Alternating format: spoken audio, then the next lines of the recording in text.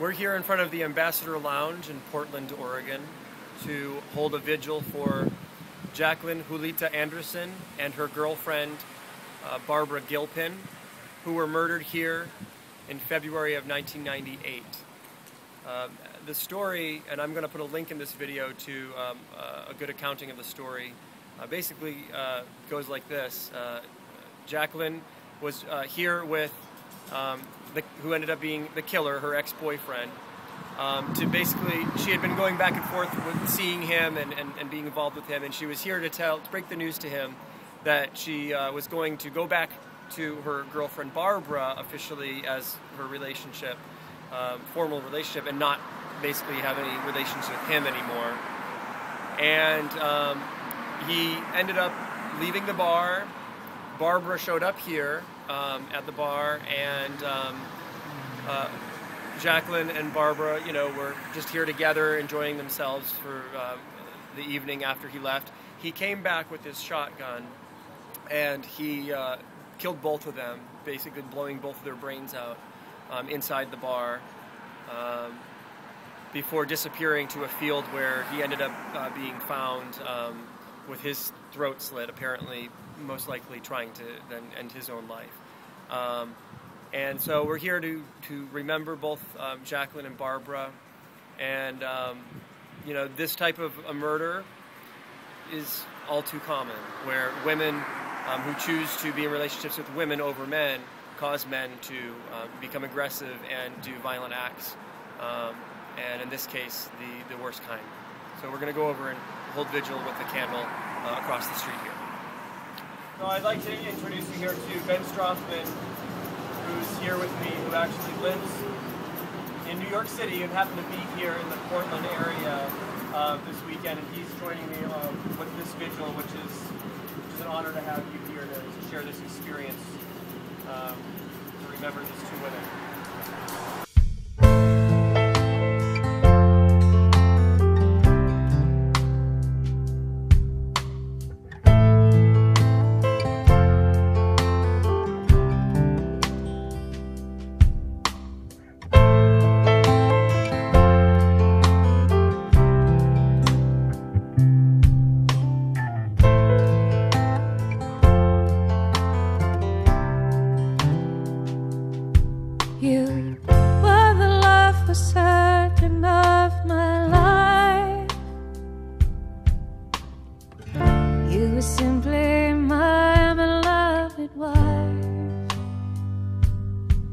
I don't know for certain how I'll live my life. Now alone without my beloved wife. My beloved wife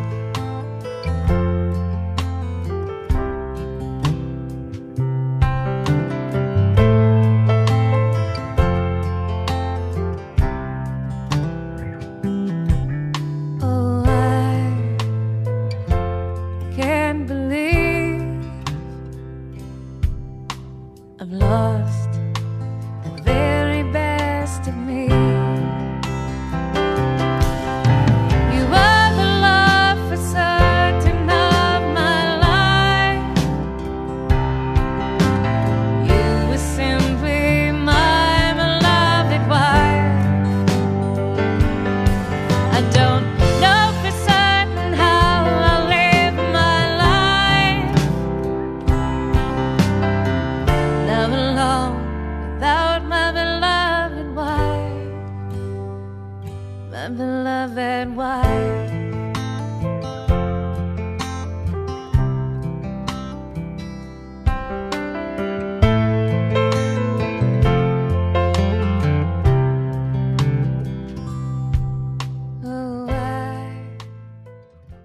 I went inside uh, at the very end there to go use the restroom, and I came out, um, and Ben was talking with a, a man outside.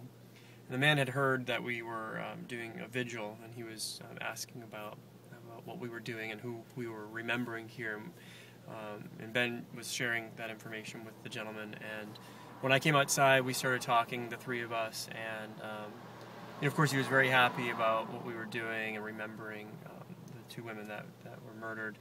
here, and he said he lives a few blocks away, and he had never heard of the murder, and he was a gay man. He identified as a gay man, and then he told us a little bit about himself, and he he said um, that uh, he actually was just kicked out of his apartment with uh, his partner of several years um, tonight. Ten years. Ten years tonight. He was kicked out um, of his apartment. He had all of his stuff in his car, and um, apparently his partner's mother died, and he his partner's inherited a large sum of money, and um, didn't go into any more details than that. But he was really starting to get emotional. Um, just that we intersected with him tonight, and um, so it just it, it's another example of not only are we able to share these stories um, and really validate the reality of what's happening to LGBT people in this country and has been happening for a long time and is still happening. Um, and that's good to get that information out there because we need to know these stories of the people that we've lost. Um, but in the process, these random meetings, or maybe they're not random, I don't know, of people that are going through stuff, real deep stuff right now, um, are able to to happen. And um, he was uh, he's very happy that we crossed paths tonight, and I hope as we saw him drive away with all his stuff in the back seat of his car, whatever he's going through. Um, you know, I hope we did bring light to his his life that will actually help him beyond tonight and um, this major transition that he's actually in the middle of right in this moment.